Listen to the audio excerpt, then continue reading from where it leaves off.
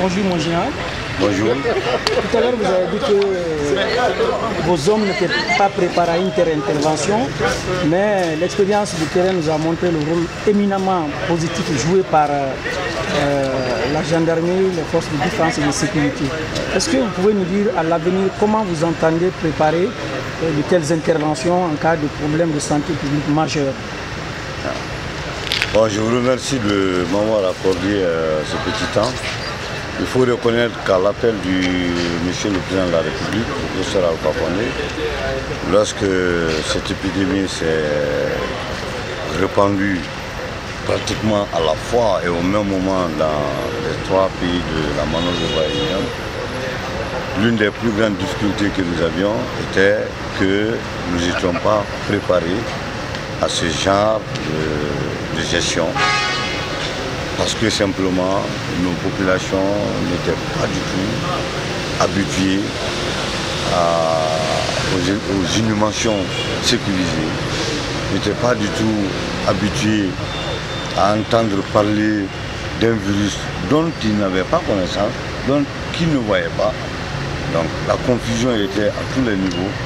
Pratiquement, chacun se demandait qu'est-ce qu'il fallait faire pour mais chemin faisant, avec la sensibilisation et la détermination de l'Organisation mondiale de la santé à travers les autres partenaires et naturellement le gouvernement guinéen, nous avons réussi petit à petit à faire asseoir une base de confiance mutuelle entre les populations et nous, même si quelque part c'était plein de difficultés. Aujourd'hui, nous savons où se trouve le problème.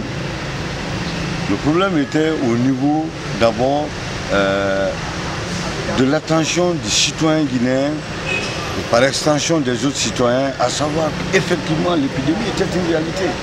Les gens pensaient que c'était des trucs de fétiche ou du maraboutage ou c'était des montages politiques, mais par la suite tout le monde a su que c'était une réalité.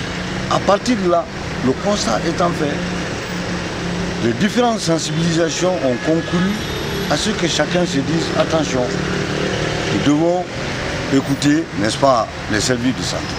Nous devons suivre les consignes des services de santé. Et par extension, les forces qui au départ avaient d'énormes difficultés avec, n'est-ce pas, ces, ces populations, sont finalement devenues des forces pas de maintien d'ordre ou de rétablissement d'ordre, mais plutôt des forces de sensibilisation au même titre que certaines franges de la population. Je veux dire que l'expérience nous permet désormais d'avoir une plateforme nous permettant de dire, lorsqu'il y a une épidémie, quelle que soit l'épidémie, voilà l'approche sécuritaire qu'il faut mettre en place. C'est pourquoi j'apprécie beaucoup euh, n'est-ce pas, euh, l'initiative de l'Organisation mondiale de la santé à ce que cet atelier nous permette d'avoir des normes, des normes standards qui vont désormais nous empêcher de divaguer dans la solution à apporter. Et par extension, les autres pays hein, de la sous-région et même du continent africain pourront, n'est-ce pas, se mirer dans les conclusions de cet atelier pour pas, bénéficier des mêmes normes.